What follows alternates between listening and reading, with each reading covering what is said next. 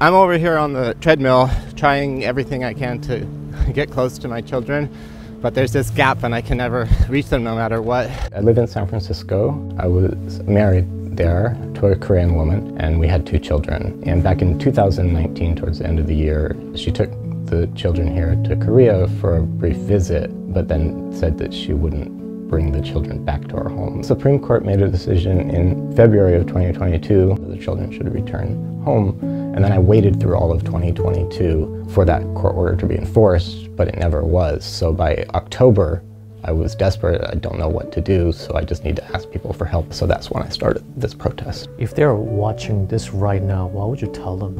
사랑해 and 아빠가 너무 사랑해.